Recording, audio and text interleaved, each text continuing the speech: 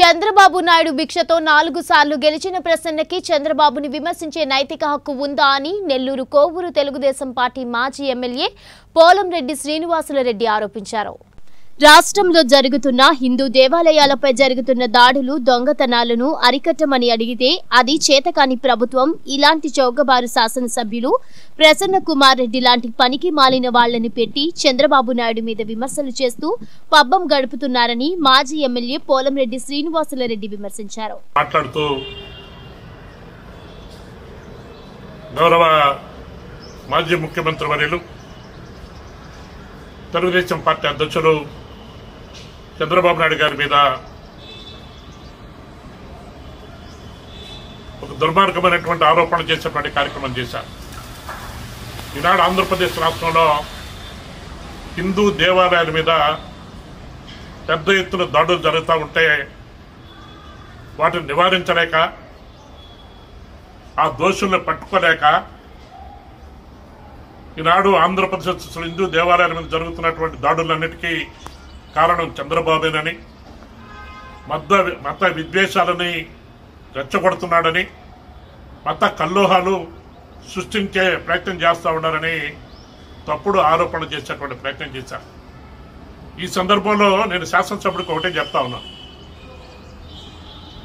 ఈనాడు మీ ప్రభుత్వ అధికారంలో ఉంది. మీకేదైనా చంద్రబాబు నాయుడు గారి మీద అనుమానాలు ఉంటే సమగ్రమైనటువంటి విచారణ జరిపించండి.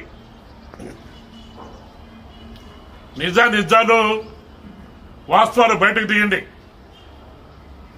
చంద్రబాబు నాయుడు గారు తప్పు చేసినట్లయితే చర్యలు తీసుకోండి. అది తప్ప మీరు చంద్రబాబు నాయుడు గురించి తప్పుడు ఆరోపణలు తప్పుడు నిందలు చంద్రబాబు నాయుడు గారు రౌడీ అని దొంగ అని అంత అసభ్య ప్రస పదజాలంతో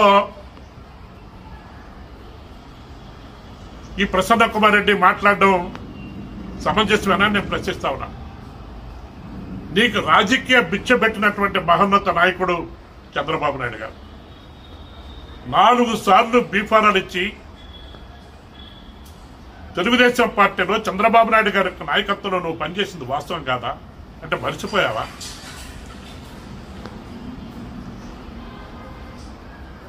అటువంటి నాయకుణ్ణి దుర్భాషలాడి నిందారోపణ చేసి తప్పుడు ఆలోచనలతో తప్పుడు విధానాలతో ప్రజలను మభ్యపెట్టేటువంటి ప్రయత్నం చేస్తా ఉన్నాం నిరాశ నిస్పృహంలో ఉన్నటువంటి నువ్వు చంద్రబాబు నాయుడు తిట్టి తద్వారా మీ యొక్క జగన్మోహన్ రెడ్డి ముఖ్యమంత్రి గారి దగ్గర మెప్పు పొందేటువంటి ప్రయత్నం చేస్తా ఉన్నాను. నీకేదో పదవులు వస్తాయని ఆశిస్తా ఉన్నావు నీకు పదవులు వచ్చేటువంటి పరిస్థితి లేదు. నువ్వు శాసనసభ్యుడిగా పూర్తిగా విఫలమైపోయావు. పూర్తి డెల్టా ప్రాంతం ఉన్నటువంటి కోవూరు నియోజకవర్గంలో ఎడగారు పండించినటువంటి రైతాంగానికి అన్ని విధాలుగా ఇబ్బందులకు గురి చేసేటువంటి ప్రయత్నం చేశాం. రైతులకు గిట్టుబాటు ధర రాలా. మేము తెలుగుదేశం పార్టీ తరఫున డిమాండ్ చేశాం. పుట్టికి ఐదు వేల రూపాయలు బోనస్ను చెల్లించండి.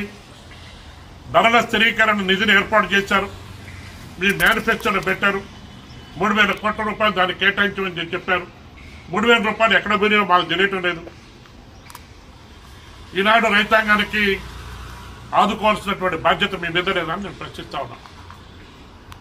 పౌరు నియోజకవర్గ ప్రజలు నిన్ను గెలిపించింది చంద్రబాబు నాయుడు గారిని తిట్టే దానికోసమా చంద్రబాబు నాయుడు గురించి దుర్భాషలాడు దానికోసమా నువ్వు కోవూరు నియోజకవర్గ శాసనసభ్యుడిగా పూర్తిగా విఫలమయ్యావు పూర్తి స్థాయిలో అసమర్థుడిగా ఈరోజు పేరు తెచ్చుకున్నాం.